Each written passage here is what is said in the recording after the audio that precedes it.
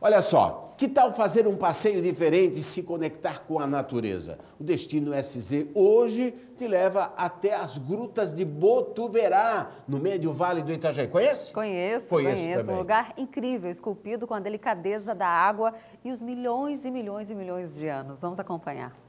Destino SC, ligando você aos melhores roteiros da estação.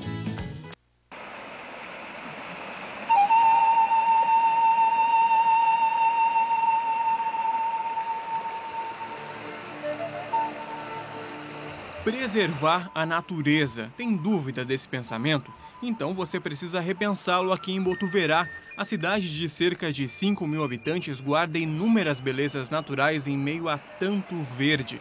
A 15 quilômetros do centro da cidade, a gente encontra as grutas que protagonizam a riqueza desse lugar. Mas para conhecer a gruta, a gente tem que estar equipado tênis confortável, capacete na cabeça e sempre acompanhado aqui do guia. Sem isso, não tem como, né? É, são os itens de segurança: capacete, o calçado e acompanhado, sempre monitorado, né? Agora a gente vai andar um pouquinho, bastante escada pela frente, mas vai valer a pena. A gente chegou aqui em cima e o acesso à gruta, olha só, é bem escondidinho, em meio às rochas, um caminho bem singelo, mas com certeza vai valer a pena o que a gente vai encontrar lá dentro.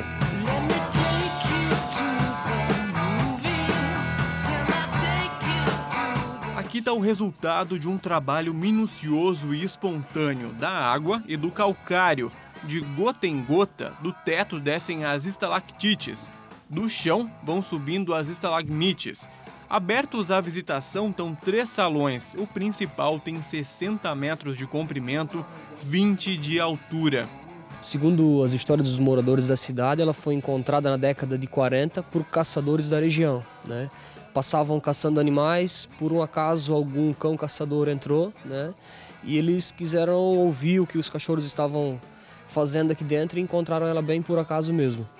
Depois, em, na década de 90, começou o turismo e o parque foi criado em 1998. A estimativa é que tudo isso aqui tenha se formado há 65 milhões de anos e continua ganhando forma, né? É, nós temos um, um, plano de manejo que, que catalogou essa, essa idade e o crescimento em média no Brasil é um centímetro cúbico a cada século desse, desse espelhotema, que é as estalactites, estalagmites e colunas. O nome da cidade é Botuverá e não é por acaso, dá só uma olhada nesse brilho. Esse nome é Tupi-Guarani, né, Josimar? É, a origem do nome Botuverá vem da linguagem do Tupi-Guarani, que é chamado Montanhas Brilhantes e Pedras Preciosas. Essa é a origem do, do nome. A visita às grutas custa 14 reais. Estudante paga metade. Sempre é feita em grupos de até 15 pessoas. Quem visita tem que fazer a moda antiga, não pode fotografar ou filmar para a segurança de todos. Ah, eu achei muito legal, é bem interessante o que ele falou assim sobre os morcegos, as rochas, as formações. No total são sete espécies de morcegos, os únicos vertebrados, e 35 de invertebrados, grilos, aranhas, formigas, minhocas, os principais que habitam aqui dentro. As grutas são um convite à reflexão.